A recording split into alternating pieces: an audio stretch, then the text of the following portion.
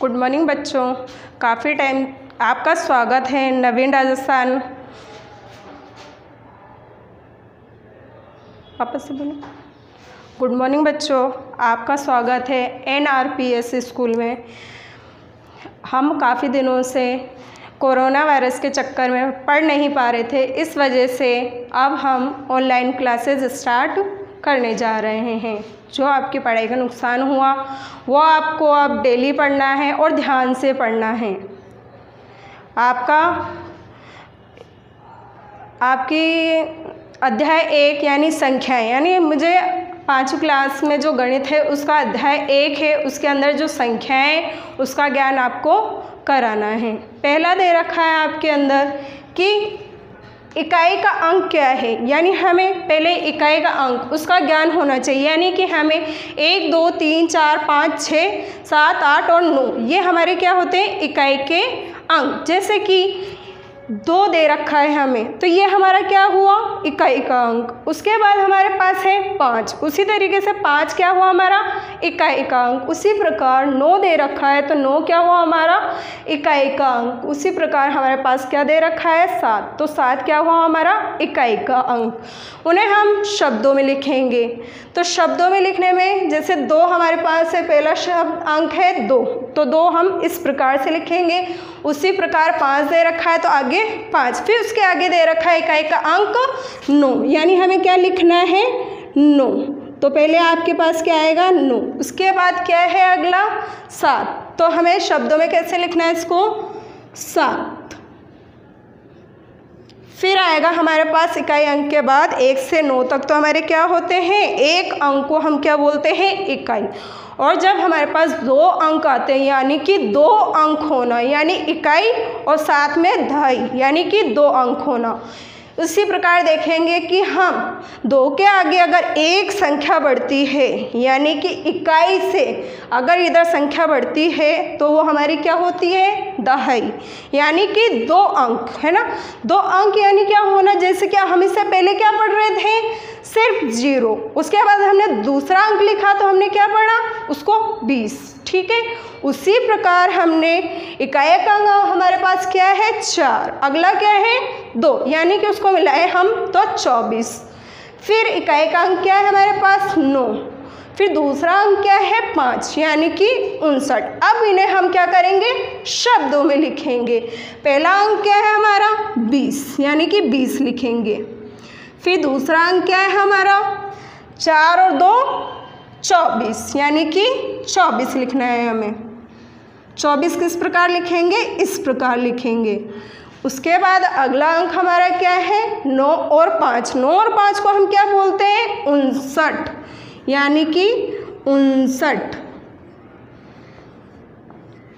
इसी प्रकार अगला हमारा है सैकड़ा। अब सैकड़े के इकाई के अंदर एक अंक, ढाई के अंदर दो अंक और सैकड़े के अंदर तीन अंक। यानी कि जैसे हमने लिखा सौ तो सौ क्या हुआ हमारा? सैकड़ा, यानी कि इकाई, ढाई और सैकड़ा। तो ये हमारा क्या अंक हो गया? सैकड़ा। और सैकड़े के अंदर कितने अंक आते हैं हमारे पास? तीन। कितने अंक आते हैं? तीन, यानी कि इकाई ढाई सैकड़ा और सैकड़े में जो अंक है एक, वो क्या हुआ? इसको देखने पर सौ। इसी प्रकार हम आगे बढ़ते हैं। पाँच सौ चार। इकाई का अंक चार, सैकड़े का अंक ज़ीरो और ढाई का अंक ज़ीरो और सैकड़े का अंक पाँच, यानी कि पाँच सौ चार। क्या लिखना है हमें? पाँच सौ चार। उसी प्रकार हमें लिखना है छः सौ पच्चीस। यानी कि हमारे पास यहाँ पर भी कितने अंक हैं? तीन। इनको अब हम शब्दों में लिखेंगे। पहला अंक हमारा क्या है? सौ। तो पहले क्या लिखेंगे हम? सौ। उसके बाद क्या है? पाँच सौ चार। यानी कि पहले हमारे पास पाँच, फिर चार। यानी कि पाँच सौ चार। इन्हें शब्दों में लिखेंगे पाँच सौ चार।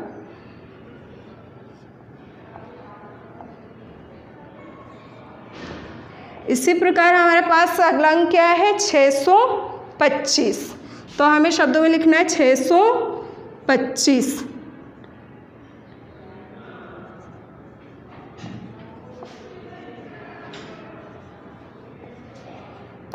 इसी प्रकार हम और आगे बढ़ते हैं तो हमारे पास आता है हज़ार। हज़ार जैसे इकाई के अंदर एक ढाई के अंदर दो और सैकड़े के अंदर तीन। उसी प्रकार हज़ार के अंदर कितने अंक होंगे हमारे पास? चार। जैसे कि चार अंक हमारे पास है।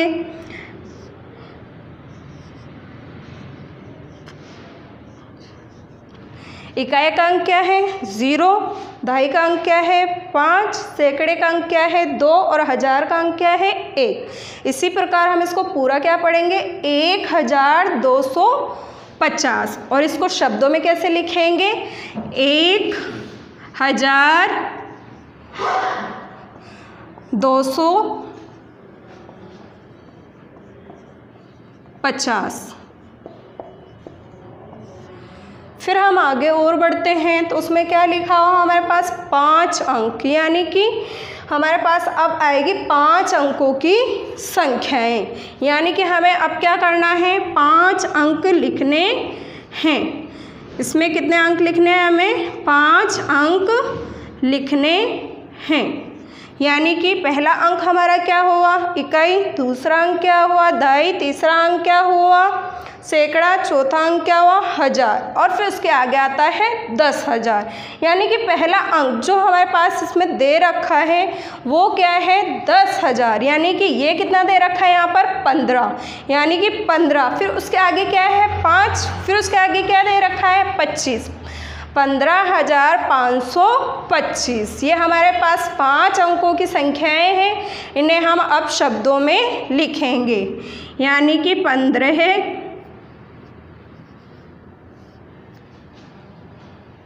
हज़ार पाँच सौ पच्चीस।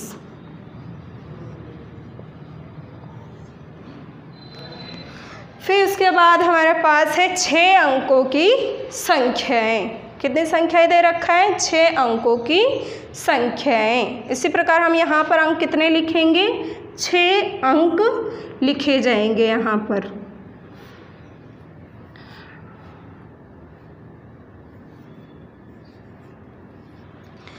इक्का एक, दो, तीन, चार, पाँच, छः। यानी कितने अंक हो गए हमारे पास? छः।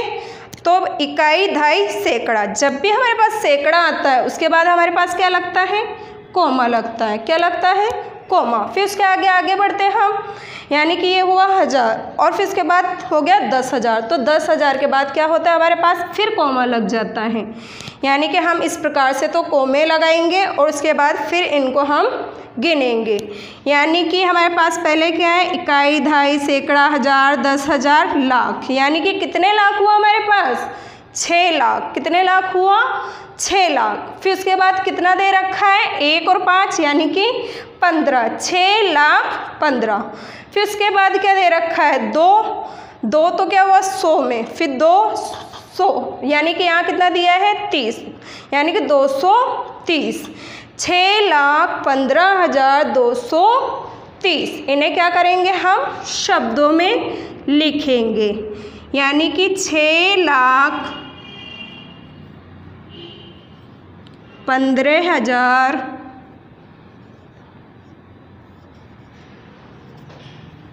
दो सौ।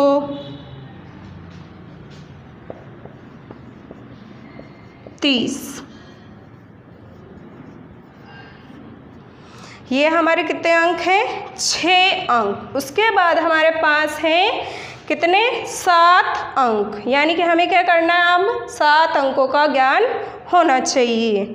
यानी कि यहाँ पर अंक कितने लिखने हैं अब हमें? सात अंक लिखने हैं।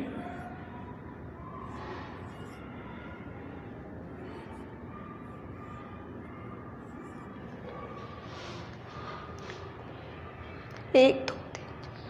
देखिए, जैसे यहाँ पर मैंने कितने अंक लिखे? एक, दो, तीन, चार, पाँच, छः, सात। सात अंक लिखे मैंने। जैसे कि मैंने इस सवाल में आपको बताया था कि पहले वाले अंकों में कि हम कभी भी जब कोमा लगाते हैं, वो किसके पहले लगाते हैं? सैकड़े के बाद। यानी कि इकाई ढाई सैकड़ा। सैकड़े के बाद हमें क्या लगाना है? कोमा लगाना है। उसके बाद क्या करना है? दस हज़ार पे लगता है, यानी कि फिर दो अंक, यानी कि हज़ार में दो अंक, यानी कहाँ कोमा लगेगा? दस के आगे। अब देखो, इकाई, पहला अंक क्या है इकाई? फिर दूसरा क्या है दहाई? फिर तीसरा क्या है सैकड़ा? फिर हज़ार, फिर दस हज़ार, फिर लाख, फिर दस लाख। फिर पहला क्या दे रखा है हमें? एक और पाँच क्या होता है? पंद्रह। तो पंद्रह क्या हुआ? पंद्रह लाख फिर एक और ज़ीरो, उसे क्या बोलते हैं हम? दस, यानी कि दस हज़ार। फिर इसके बाद दो हैं और फिर उसके बाद सत्तर, यानी कि दो सौ सत्तर। पंद्रह लाख दस हज़ार दो सौ सत्तर। अब इन्हें हम क्या करेंगे? शब्दों में लिखेंगे। पहला क्या है? पंद्रह लाख दस, हज़ार दो सौ,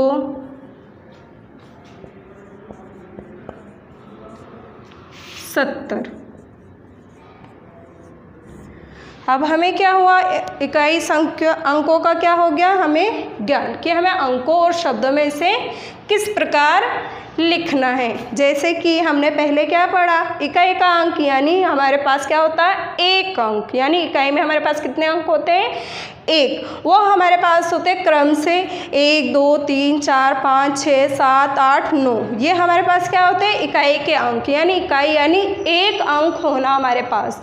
यानी कि हमारे पास एक से नौ जो क्रम दे रखा है, वो क्या है? इकाई का अंक। फिर उसके बाद आता है दूसरा दहाई यानी कि हमारे पास होना दो अंक, यानी कि इकाई के अंदर एक अंक और जुड़ना, उसको बोलते हैं हम दहाई यानी कि दो अंक जब भी हमें प्राप्त होते हैं तो हमारे पास क्या हो जाता है वो दहाई अंक, यानी इकाई और दहाई मिलाकर हमें एक से लेकर जो सौ तक, यानी कि निन्यानवे अंक दिए जाते हैं, वो होते हैं हमारे पास दहाई अंक, यानी कि जैसे दो और पाँच, पच्चीस उसी प्रकार हमारे पास दो, चार, चौबीस, उसी प्रकार है पाँच और नौ, उनसठ। उन्हें अंकों में लिखना और शब्दों में लिखना हमने सीखा है। फिर हम आगे बढ़ते हैं। इकाई अंक है अपने पास। इकाई, ढाई, सैकड़ा, यानी कि तीन अंक दिया, यानी कि सैकड़ा हमें। क्या दिया उसने? तीन अंक। यानी कि हमारे पास अब इकाई, ढाई और सैकड़ा, यानी कि तीन अंक हो गए हैं। यानी कि सौ बोलने पर हमारे पास क्या आ जाता है? सैकड़ा, है ना? और जैसे सैकड़ा बोलेंगे, उसी प्रकार हमारे पास अंक कितने प्राप्त होते हैं? तीन। वो हमारे सौ से लेकर नौ सौ निन्यानवे तक अंक होते हैं। वहाँ तक हमारे अंक कितने होते हैं? सैकड़े तक होते हैं। जैसा कि सामने लिखा है, एक ज़ीरो ज़ीरो, यानी कि ये कितना हो गया? सौ। उसी प्रकार हमारे पास क्या है? पाँच ज़ीरो छः यानी कि क्या हुआ? पाँच सौ चार। ये भी क्या हुआ हमारे पास? इकाई दहाई और सैकड़ा। तीन मिला के क्या हो गया हमारे पास? सैकड़े तक अंक प्राप्त हुए, यानी कि सौ प्राप्त हुआ। यानी कि उसी प्रकार फिर छः, दो और पाँच, ये दिया है, यानी इकाई ढाई, सैकड़ा, यानी छः सौ पच्चीस। ये हमारे पास क्या आ गया? पूरे अंक छः सौ पच्चीस। उसी प्रकार हम आगे बढ़ते हैं। हज़ार। हज़ार के अंदर हमारे पास अंक होते हैं चार। यानी कि अगर हम एक ज़ीरो ज़ीरो ज़ीरो इसको लिखते हैं तो उसे क्या पढ़ते हैं हम? एक हज़ार। उसी प्रकार उसका क्रम आगे हमारे बढ़ता जाता है धीरे धीरे। तो पहला अंक क्या लिखा हुआ है? एक हज़ार दो सौ पचास।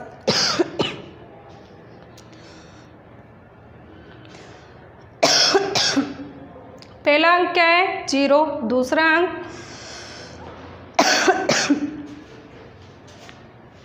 अगर हम आगे बढ़ते हैं, उसमें हमारे पास है हज़ार, यानी कि जब भी हमारे पास चार अंक प्राप्त होते हैं, उसके आगे हमारे पास एक भी अंक बढ़ता है तो हमारे पास हो जाता है हज़ार। और जैसे ही हमारे पास पाँच अंक आते हैं तो हो जाते हैं दस हज़ार। यानी कि जब भी हम चार अंक पढ़ेंगे तो हमारे पास क्या होगा, वो गिनती हज़ार में। जैसे कि हमने पहले इकाई पे क्या है हमारे पास? ज़ीरो।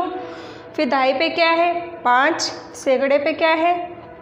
दो। और हज़ार में क्या है? एक। यानी कि एक हज़ार दो सौ पचास। हमने शब्दों में क्या लिखा? एक हज़ार दो सौ पचास। हमारे पास चार अंकों की संख्या जो है कितनी है? चार। उसी प्रकार आगे बढ़ते हैं हम। तो पाँच अंकों की संख्या है। यानी कि इकाई पे पाँच, ढाई पे आपके दो, सैकड़े पे पाँच, हज़ार पे पाँच और दस हज़ार पे एक। यानी कि पंद्रह हज़ार पाँच सौ पच्चीस। ये हमारे क्या हुआ पाँच अंकों की संख्या है।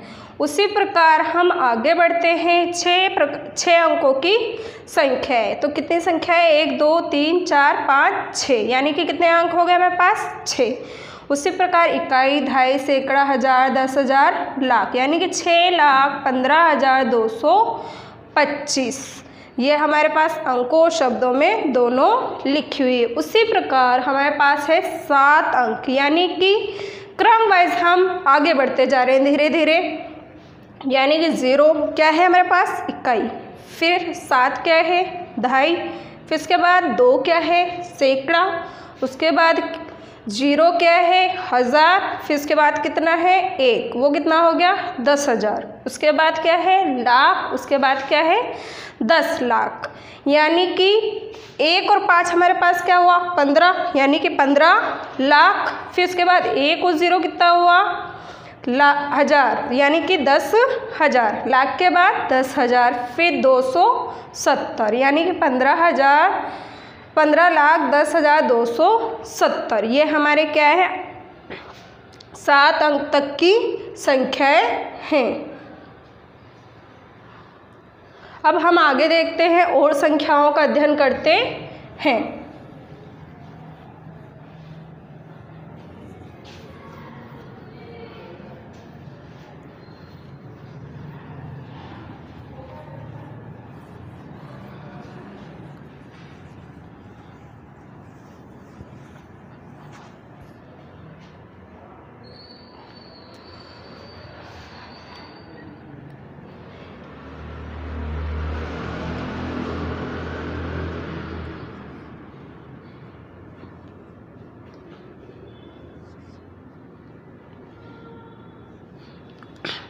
इकाई के अंक पे ही हमने क्या लिखा है यहाँ पर?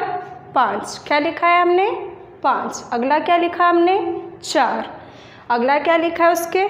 दो। उसके बाद क्या लिखा है? सात। यानी कि हमें एक से लेकर नौ तक अंकों की पहचान होनी चाहिए। पहला हमने क्या लिखा है? पाँच। यानी कि शब्दों में क्या लिखेंगे? पाँच। फिर दूसरा क्या लिखा हुआ है? चार। फिर क्या लिखा हुआ है? दो।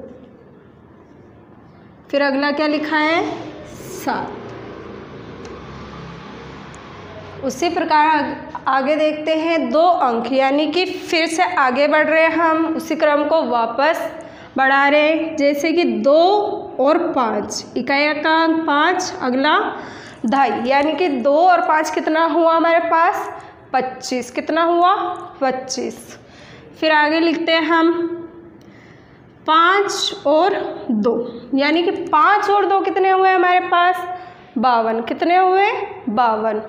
उसके आगे हम बढ़ते हैं।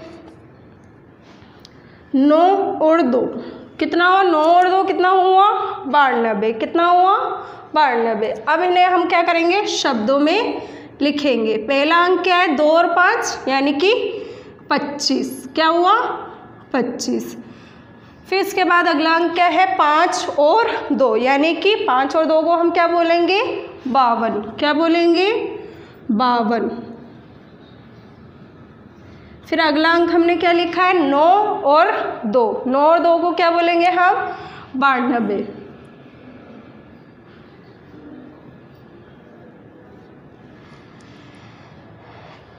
यानी कि हमें इकाई अंकों का ज्ञान हुआ। उसके बाद हमें क्या हुआ? ढाई अंकों का ज्ञान हुआ। इसी प्रकार फिर हम तीन अंकों पे चलते। हैं यानी कि जहाँ भी हमें तीन अंक मिलेंगे, वहाँ हम उसे क्या बोलेंगे? सौ से बोलेंगे। यानी कि हमने लिखा यहाँ पर सात ज़ीरो सात। तो हम इसे क्या पढ़ेंगे? इकाई पे सात, फिर दहाई पे ज़ीरो, फिर सैकड़े पे सात। यानी कि सात सौ सात। क्या पढ़ेंगे हम? सात सौ सात। मैंने क्या बोला था आपको? कि सौ पढ़ेंगे इसके अंदर। यानी जो हमारा अंक पहला क्या है? सात। और फिर बाद में क्या है? सात। यानी कि सात सौ सात। फिर उसके बाद हम पढ़ते हैं अगला। नौ सौ पच्चीस। यानी कि इकाई अंक पाँच, दाई अंक दो और सैकड़ा नौ। यानी कि नौ सौ और उसके बाद क्या है? पच्चीस। यानी कि नौ सौ पच्चीस। इन्हें हम क्या करेंगे अब? शब्दों में लिखेंगे। पहला अंक क्या है हमारे पास? यानी कि सात सौ सात। पहला अंक क्या लिखेंगे हम? सात सौ सात। पहले सात, फिर क्या बोला था हमने? सौ। तो सौ लिखेंगे और फिर बाद में क्या है? सात। तो हमने क्या लिखा? सात सौ सात। फिर अगला क्या है हमारे पास? नौ सौ पच्चीस। पहला अंक क्या है? नौ। तो हमने क्या लिखा? नौ। फिर इसके बाद क्या लिखना है? सौ। फिर अगला क्या है? दो और पाँच? पच्चीस। यानी कि नौ सौ पच्चीस। कितना लिखना है हमें? नौ सौ पच्चीस। यानी कि ये हमारे कितने अंक है? तीन। अब तीन अंक हम, तीन अंकों में क्या बोलते हैं? यानी कि सौ। फिर अगला आता है हमारे पास चार अंक। और चार अंकों को हम क्या बोलते हैं? हज़ार। क्या बोलते हैं? हज़ार। जैसे कि मैंने लिखा है यहाँ पर,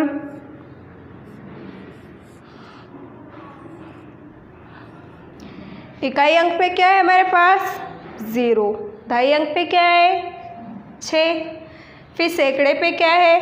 पाँच। और हज़ार पे क्या है? एक। यानी कि कितने अंक हो गए हमारे पास? चार।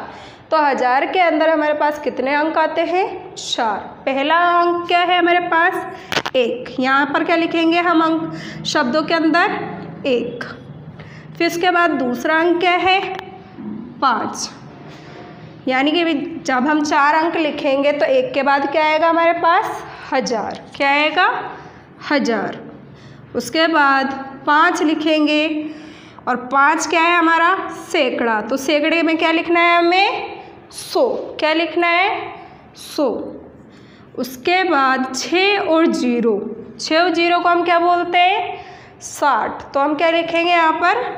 साठ। कितने अंक हुआ इकाई, ढाई, सैकड़ा, हज़ार। यानी हमने शब्दों में क्या लिखा? एक हज़ार पाँच सौ साठ। ये कितने अंक हुए हमारे पास? चार अंक हो गए। इसके बाद हम लेते हैं वापस से पाँच अंक। यानी कि इससे एक अंक ज़्यादा। पहले हमने लिखा दो,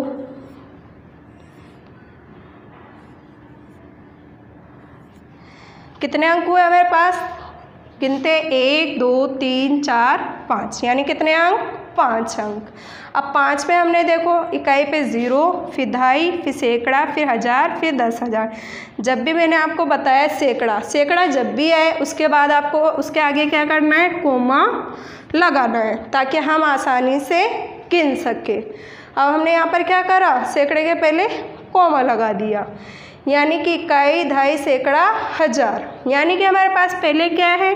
दो और यहाँ पर क्या है? पाँच। यानी इन दोनों को हमने मिलाया। तो क्या हुआ? पच्चीस। और पच्चीस क्या है हमारा? हज़ार। क्या है? पच्चीस हज़ार। यानी पहले हम क्या लिखेंगे यहाँ पर? पच्चीस। फिर कितने अंक पे आया ये हमारे पास? पाँच अंकों पर ना? तो क्या हुआ? हज़ार। क्या लिखेंगे?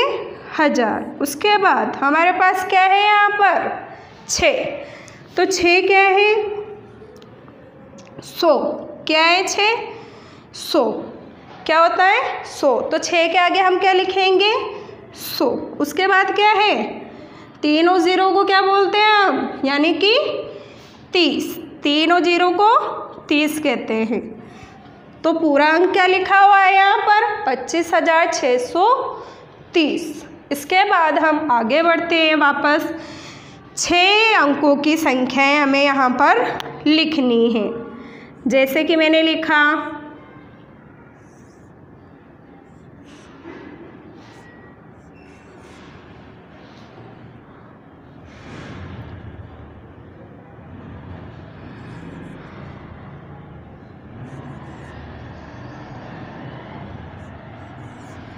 मैंने कितने अंक लिखे हैं यहाँ पर? एक, दो, तीन, चार, पाँच, छः। यानी कि हमने पहले कितने पढ़े थे? पाँच। उसके बाद कितना पढ़ रहे हैं हम? छः। अब मैंने क्या बताया था आपको कि जब भी हम इकाई धाई सैकड़ा यानी सैकड़ा है, उसके आगे हमें क्या लगाना है? कोमा लगाना है। फिर उसके बाद क्या करना है? हज़ार के आगे कोमा लगेगा, यानी कि छः के आगे कोमा लगेगा। अब देखिए, आप यहाँ पर जो पहला अंक यहाँ दिया गया है, वो क्या लिखा हुआ है? पाँच। पाँच क्या है हमारे पास? लाख। क्या है? पाँच लाख। तो पहला अंक क्या हो गया? पाँच लाख। उसके बाद छः और सात को हम क्या बोलते हैं? छः और सात को क्या बोलते हैं? सड़सठ। क्या बोलते हैं? सड़सठ। सड़सठ क्या है हमारा? हज़ार। क्या है? हज़ार। तो हम क्या लिखेंगे? हज़ार। उसके बाद क्या है? दो। और दो के आगे हम क्या लिखेंगे? सौ, यानी तीन अंक दे रखा है ना तो दो और सौ। फिर क्या लिखेंगे? दो और सौ। दो सौ। अब तीन और पाँच को हम क्या बोलते हैं? पैंतीस। तो हम क्या लिखेंगे आगे? पैंतीस। यानी कि हम इसको पूरा क्या पढ़ेंगे? पाँच लाख सड़सठ हज़ार दो सौ पैंतीस। उसके बाद हमें क्या करना है? अब हमारे पास है, अब तक हमने कितने? छः अंकों का ज्ञान करा। उसके बाद अब हमारे पास कितना है? सात अंक। तो हम क्या करेंगे? सात अंक के बारे में पढ़ेंगे। अभी तक हमने क्या लिखा था? पाँच अंक। अब हम कितने लिखेंगे? सात अंक। यानी कि हमें यहाँ पर अब सात अंक चाहिए।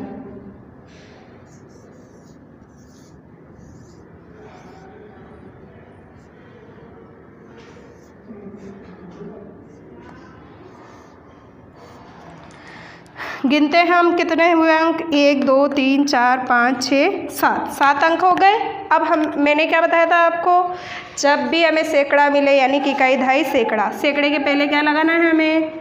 कोमा, फिर उसके बाद क्या, हज़ार हज़ार के पहले कोमा। ठीक है, हमने किन संख्याओं, सैकड़े के पहले कोमा लगाया, फिर हज़ार के पहले कोमा लगाया। यानी कि इकाई का अंक, अब हमारे पास जो आगे दो संख्याएँ दे रखे, वो क्या दे रखे? दो और पाँच को हम क्या बोलते? पच्चीस। क्या बोलते? पच्चीस। यानी कि दो और पाँच, पच्चीस। फिर अगला क्या है हमारे पास? पच्चीस क्या हुआ हमारे पास? पच्चीस क्या हुआ? लाख। क्या हुआ?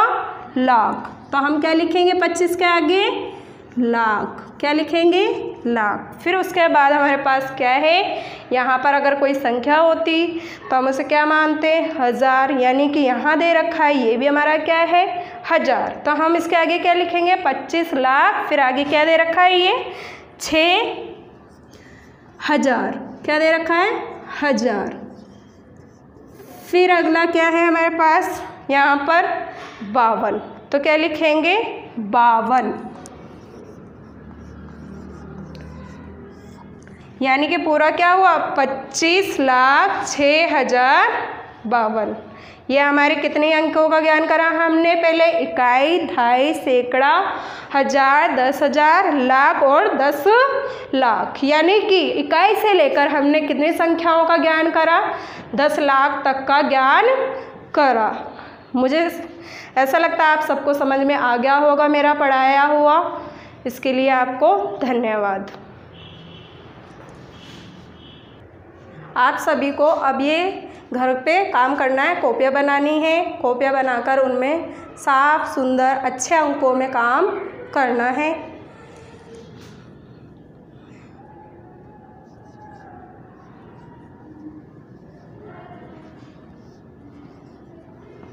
अंकों को शब्दों में लिखो। पहला है